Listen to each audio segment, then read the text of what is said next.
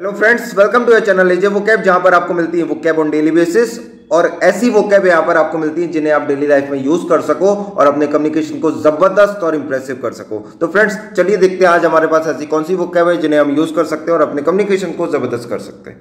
देखिए friends image में आपको दिख रहा है वो ब्रांच में बैठा हुआ है और उसी ब्रांच को काट रहा है, काटने के बाद वो नीचे गिर जाएगा। इसका मतलब वो मोरॉन है, मूर्ख है मोरॉन है स्टूपिड पर्सन है। स्टूपिड पर्सन का एडवांस वर्ड है मोरॉन जो एक नाउन है। चलिए देखते हैं इसके एग्जांपल्स देखते हैं मीनिंग और भी क्लियर होगी। Are you moron why did you put salt in sweet dish क्या तुम मूर्ख हो? तुमने स्वीट डिश में मीठे में सॉल्ट क्यों डाला है?